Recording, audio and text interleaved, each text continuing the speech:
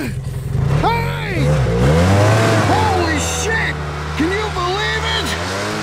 I knew these creatures were real! Because a Yeti is stealing my snowmobile! The only mystery to me is, why would he want that piece of crap Arctic Cat? Hey! That sled sucks! Yeah, if I were you, I would have waited for a ski-doo! Seriously, he'd be better off on a jet ski. Stupid Yetis! Unbelievable!